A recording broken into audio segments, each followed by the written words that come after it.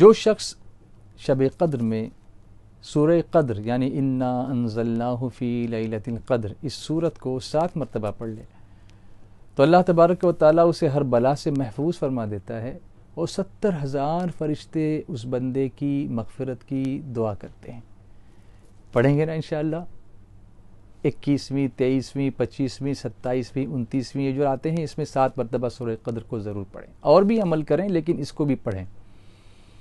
اور جو شخص پورا کلمہ طیبہ، لا الہ الا اللہ محمد رسول اللہ صلی اللہ علیہ وسلم، تین مرتبہ پڑھے۔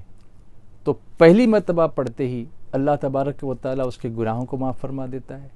جب دوسری مرتبہ پڑھے گا تو اللہ تبارک و تعالیٰ اسے جہنم سے آزاد فرماتا ہے اور تیسری مرتبہ پڑھے گا تو اللہ تعالیٰ اسے جنت میں داخل فرماتا ہے۔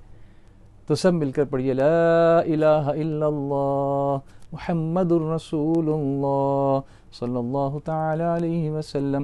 لا إله إلا الله محمد رسول الله صلى الله تعالى عليه وسلم.